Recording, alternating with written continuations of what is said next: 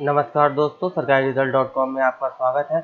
आज हम जानेंगे यूपी बीएड ऑनलाइन काउंसलिंग में चॉइस फिलिंग कैसे करते हैं। सबसे पहले आपको ध्यान रखना है, जब भी अपने गूगल ब्राउज़र या जो भी ब्राउज़र जाए उसमें हमेशा सरकारी रिज़ल्ट डॉट कॉम खोले। ध्यान रहे, हमेशा सरकारी रिज़ल्ट के लास्ट में हमेशा डॉट कॉम रहे, क्योंकि सरकारी रिज़ल्ट नाम से मिलती जुलती बहुत सी फेक वेबसाइटें आ गई है, जिसमें आपको गलत लिंक और गलत डिटेल्स प्रोवाइड हो सकती हैं। चलिए, सरकारी रिज़ल्ट डॉट कॉम ओपन के सीधा हम यूपी बीएड ऑनलाइन काउंसलिंग पे क्लिक करेंगे। जी हाँ उसके बाद हम देखेंगे यहाँ डिटेल्स चढ़ चुकी है अपग्रेड हो चुकी है डिटेल्स उसके बाद सीधा हम नीचे जाएँगे? देखिए, इसमें आपको काउंसलिंग लेटर है चॉइस फिलिंग है। हमको आज चॉइस फिलिंग करनी है, लेकिन आप काउंसलिंग शेड्यूल काउंसलिंग का प्रोसीजर भी एक बार देख सकते हैं। चलिए, हम चॉइस ऑनलाइन चॉइस फिलिंग पे क्लिक करते हैं, ठीक है? आपको ध्यान रहे, ये जो लिंक है, ये आपको हमेशा किसी और ब्राउज़र पर नहीं सपोर्ट करेगा। केवल इंटरनेट एक्सप्लोर सेवन और उसके अब जो ब्राउज़र उस पर ही सपोर्ट करेगा। दोस्तों, जैसे कि आपके, जब आप डॉक्यूमेंट वेरिफिकेशन कराते हैं तो आपके मोबाइल पे एक ओटीपी पासवर्ड आता है। यहाँ पे आपको अपना रोल नंबर डालना है ओटीपी पासवर्ड मान लीजिए किसी कारण से अगर आपका ओ पासवर्ड नहीं ले रहा है तो उसमें देखिए यहाँ पे आपको रिसेंट ओ पिन का भी ऑप्शन दिया हुआ है। आप इस ऑप्शन को यूज़ कर सकते हैं, इसमें आपका डी का डिटेल्स वगैरह डाले मांगेगा।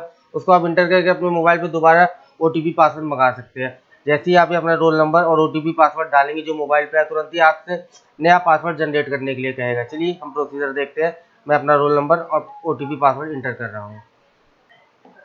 दोस्तों, जैसे ही आप लॉगिन करेंगे, देखिए आपका पूरा डिटेल खुल जाएगा। आपका रोल नंबर जेंडर नाम रजिस्ट्रेशन आपने का पूरा डॉक्यूमेंट आपका किसने वेरीफाई किया? किस डॉक्यूमेंट वेरिफिकेशन सेंटर में आपने वेरीफाई कराया क्या आपने कौन सी फ़ीस जमा की। आपका ग्रुप आपकी रैंक पूरा डिटेल खुल जाएगा। इसके बाद आपको सीधे जो है आपको जाना है चॉइस सबमिशन में। ठीक है चॉइस सबमिशन में जाएँगे आपको। उसके बाद है, देखिए ऑप्शन जो दिए हुए चॉइस सबमिशन चॉइस डिलेशन जो भी आपने चॉइस डाला, उसके बाद आप चाहते हैं कोई चॉइस डिलीट करना तो यहाँ से डिलीट कर सकते हैं। व्यू सबमिटेड चॉइस जो भी आप चॉइस डालेंगे एक बार लॉक करने से पहले उसको सबमिट को चॉइस को ज़रूर कायदे से देखिए। ये ऑप्शन है चॉइस इंटरचेंज जैसे आपको कोई choice first to fourth four to one choice में इंटरचेंज जो भी आपको करना है, उससे कर सकते हैं। और लास्ट ऑप्शन है, देखिए लॉक चॉइस का। लॉक चॉइस आपको करने के बाद आप कोई भी चेंजेस नहीं कर पाएँगे। लॉक चॉइस करने से पहले पूरे डिटेल्स को बिल्कुल केयरफुली चेक कीजिए। दोस्तों, जैसे आप चॉइस फिलिंग में करेंगे, देखिए इसमें दो ऑप्शन है।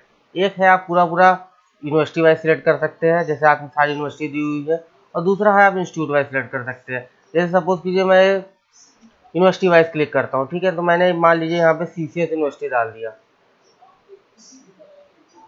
ये देखिए दोस्तों सीसीएस यूनिवर्सिटी डालते थे सारे कॉलेज आ गए। जो जो कॉलेज आपको ऐड करना है, ये देखिए प्लस का चिन्ह इस पर आप क्लिक करेंगे, और जैसे ही आप इसको ऐड करेंगे, आपका कॉलेज इधर साइड आ जाएगा, और यहाँ वाली लिस्ट से हट जाएगा। इसी तरह आपको जो जो चॉइस सबमिट करनी हो उसको आप क्लिक करते जाइए ऐड करते जाइए। दोस्तों, इसके बाद हम इस समय ऑप्शन आया चॉइस डिलीट ऑप्शन पे। देखिए, इसमें जो जो मैंने अभी चॉइस डाली है, पाँच वो चॉइस पड़ी हुई है, और देखिए इसमें टिक का आपको ऑप्शन दिख रहा है। जो जो आपको कॉलेज आपको डिलीट करना हो उस पर वैसे नॉर्मल क्लिक करके और यहाँ से डिलीट कर सकते हैं। चलिए नेक्स्ट प्रोसेस पे चलते हैं। दोस्तों, ये देखिए, जैसे ही आप लोगों व्यू सबमिटेड चॉइस में जाएँगे, आपने जो जो चॉइस डाली वो सारी यहाँ पे शो करेगी। उसको आप देख सकते हैं। और जो चाहे आपको चेंज कर सकते हैं लास्ट ऑप्शन है लॉक चॉइस लॉक चॉइस में जाएँगे, आपको अपना पासवर्ड दोबारा एंटर करना पड़ेगा, जो आपने चेंज किया हुआ पासवर्ड और करके आप उसको लॉक कर सकते हैं. बहुत बहुत धन्यवाद आपको इस वीडियो देखने के लिए. सरकारी रिज़ल्ट डॉट कॉम में सब्सक्राइब कीजिए और हमेशा ध्यान रखिए, जब भी सरकारी रिज़ल्ट खोले लास्ट में डॉट कॉम लगाना ना भूलें. बहुत बहुत धन्यवाद.